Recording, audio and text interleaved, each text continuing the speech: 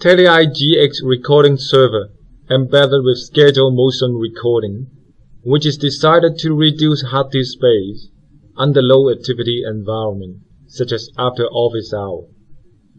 Particular event can be also quickly searched when recording only executed under motion detection.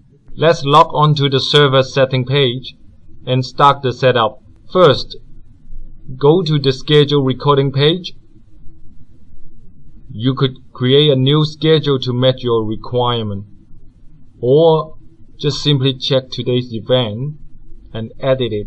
Set date, time, and frame rate, which we set auto for the highest possible rate. Select all motion recording. Click OK to save.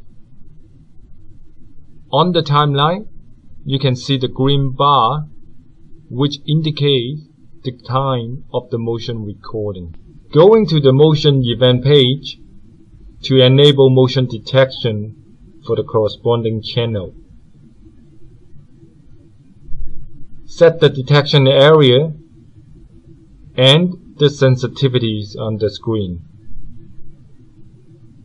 It is recommended to select specific area only to avoid false alarm from any surrounding motions. It would be better to perform a walk test at the detected area for the best result. Set the zone type as entry or exit zone if you want the alarm only ring after certain seconds. Otherwise, set it to fire zone for immediate alarm.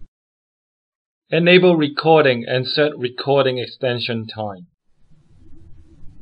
Click Apply to save all settings.